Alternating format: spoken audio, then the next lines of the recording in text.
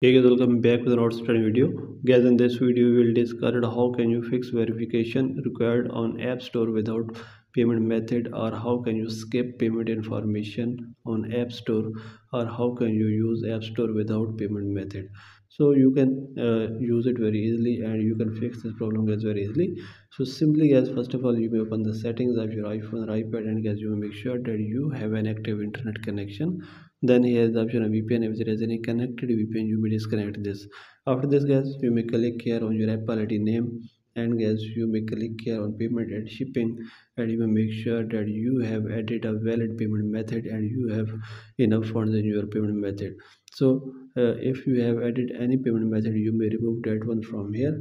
Then guys you may click here on subscription. If there is any unpaid or uh, expired subscriptions you may remove all these after this guys you may check that your problem will be fixed. If your problem is still not fixed then guys you may sign out your apple id and sign in again. Then click here on media and purchases and click here on view account.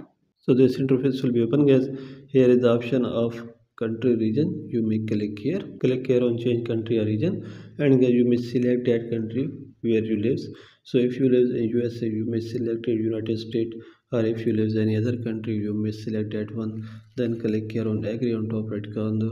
So guys here you may click here payment method as none.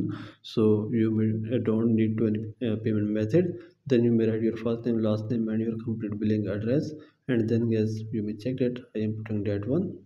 So if you live in usa you may select your state. So after this you may put the zip code of that state. If you don't know you may google this code. So after this you write your phone number.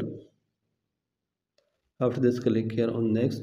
And guys you may check that your country region will be changed and now you can uh, use your app store without any payment method. So this is the video guys. For more videos please subscribe our channel